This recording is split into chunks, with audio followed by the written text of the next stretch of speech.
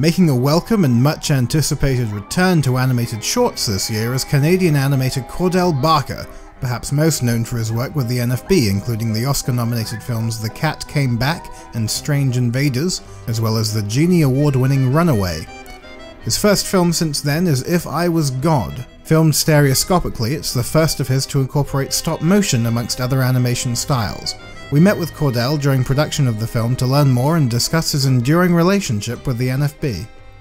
I had gone to the film, I'd wanted to do a film board film. I was working in a animation studio in Winnipeg, and um, I'd heard through somebody that the film board would be very receptive to any of the animators working there uh, of approaching the film board to do a film. I, what I didn't realize at the time was the film board had just established an office, a Western office there, uh, just only a couple of years prior. I thought they'd been there forever, and because uh, I was just a young guy, like 17, and so eventually, I put together a film about an old man and his cat and this adversarial situation in this house. So I went to the film board in Winnipeg and presented it to them, this storyboard, and they didn't really want to do it. But uh, they did say, well, you've presented this story about an old man and his cat, and we really want to do The Cat Came Back.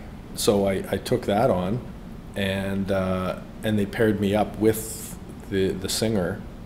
But eventually I thought, well, I really need to do this my own way because he, he's got his way of doing it because he'd been singing it for so long.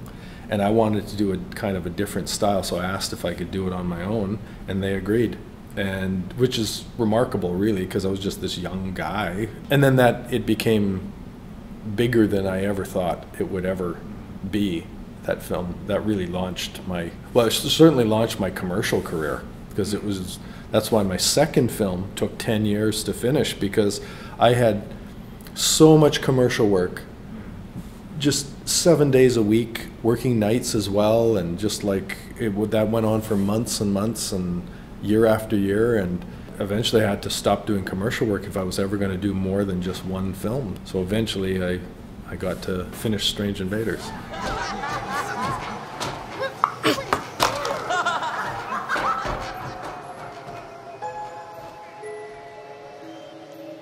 The thing is, if I was a god, I wouldn't just use my power to punish. I'd use it to get what I wanted. It is ostensibly autobiographical. You know, those formative years when you, you sort of have a whiff of adulthood. You know, you're almost kind of there, you're on the doorstep of becoming uh, more adult like and uh, sort of sensing that power that's, that's going to come. But I don't really, I'm, I'm very bad with memory, like of school years. It's just a blur. So I'm, I've actually kind of manufactured a memory and uh, which is more appealing to me anyway because there's lots of films out there that are a memory of a certain person or you know very concrete thing but i i wasn't interested in doing that i wanted to kind of sort of make an amalgam of of thoughts at the time in the midst of all of that there's this frog dissection scene in it which triggers the whole sort of having the power you know like the old electrostimulation yeah. thing of the frog and speculating on having that kind of life and death, uh, or seeming life and death abilities.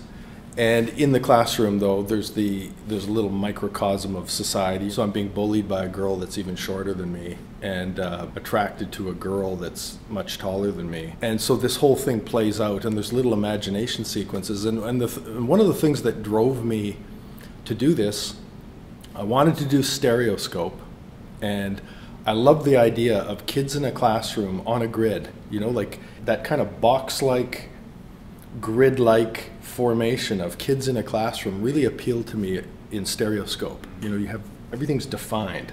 So, and stop motion is perfect for that, for stereoscope. And because it has this kind of weird sort of surreality to it. But I also wanted to do other forms of, of animation as well. So as I, as a grade seven student, as I'm speculating about having the powers of God, I'm going off on little little imagination sequences, which allows me to uh, dabble in other animation techniques. And the, and the animation techniques are triggered by the very things that are in the classroom. So I just thought, yeah, it was a good vehicle for me to kind of experiment and, and just kind of, you know, go nuts. I'm working with a small animation crew of Dale Hayward and Sylvie Trouvé, a couple that uh, do animation together. And uh, so they did my characters in the classroom based on my designs and I did very detailed animatics. And then from there, the imagination sequences, I wanted to do those because their imagination of a grade seven student. So I felt that once the professional base level was set in the classroom, I could be as naive as I wanted in the imagination sequences. So as a result, if it looks bad, I can just say, well, it's supposed to look like that. so it's perfect. There's like 2D that's kind of mixed into a stop motion three dimensional world in a flipper machine that I built. And, uh, and then there's like chalkboard lines come up, so there's, there's my 2D component. And then claymation, and then paper mache. I'm going to do like paper characters that they're sort of like pieces of, like, uh, they're made out of paper. And I've made all these like paper mache worlds. But and again, I didn't have to make really perfect like it's like a mobile that comes to life, you know, like uh, hanging up in the ceiling. But the mobile only has to look as good as a grade seven student could possibly make it.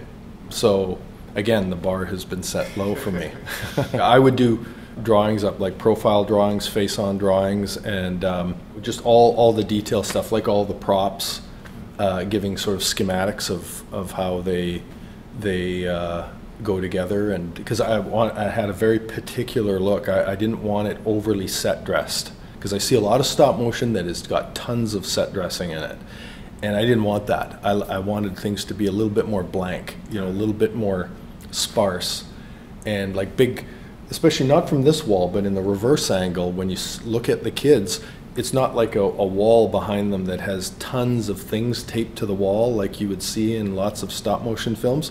I just have like a big green blank wall because I liked the kids framed in in just blankness, you know, because that's my memory of of being back in school is like big walls, big blank walls, and and, and green. It, it has an isolating look to it. I think part of me wants to kind of stay away from the overly frenetic stuff of like Cat Came Back and things like that, where I'm just trying to experiment with a different tone and a different kind of pacing.